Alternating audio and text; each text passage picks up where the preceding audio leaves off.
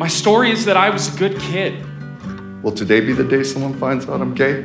I can't remember when I first started having suicidal thoughts, but it was pretty early on. I thought I was going to have to leave my church because I wasn't leaving my son.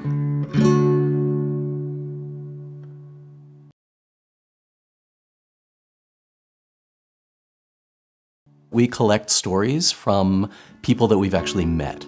We conducted these interviews, shortened them into short scenes, and then put them on stage. It's crazy to be in a show where the stories are true and the characters are true. Like, it's just, this feels like a, a great privilege, but a big responsibility. After traveling around the country, I think you'd be surprised to know that this show is needed a lot of places. Places you might think are great for LGBT youth, where we're still hearing from kids that they're still not feeling full love and acceptance, and they're at risk. One of the things that we learned early on with the It Gets Better tour is that we act as a catalyst. When we show up to any town, we have a week of residency. We bring together different parts of the community and we have discussion. We're talking about bullying and making the climate here for LGBTQ youth better. What can we envision for a better community and how are we going to develop an action plan in making those dreams come true? There's something really important about being in a room with someone, not just for the quality of the interaction, but to show them that they were worth it for you to show up.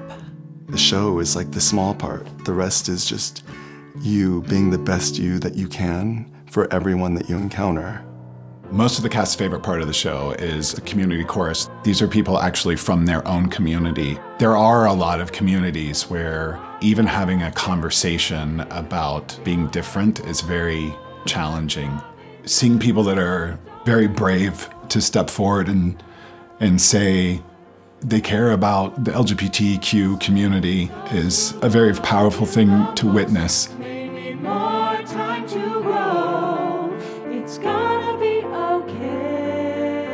Our hope is that through these discussions and through these performances and these engagements that it empowers people to then actually make that change so that the community will become a better and more accepting place. I found out there are so many people waiting to accept you for exactly who you are.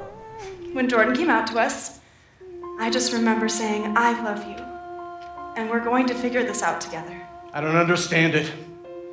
I, uh, I don't get it. But what I do know is that God gave me a gift. And that gift is you.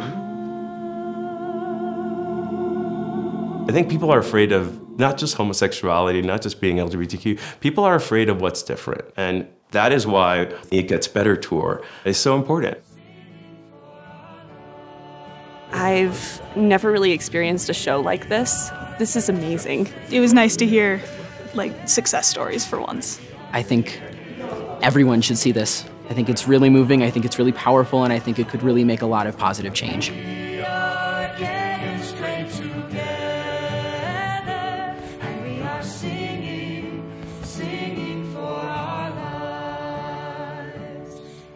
I mean, the ultimate foundation of all of this is just planting that seed of hope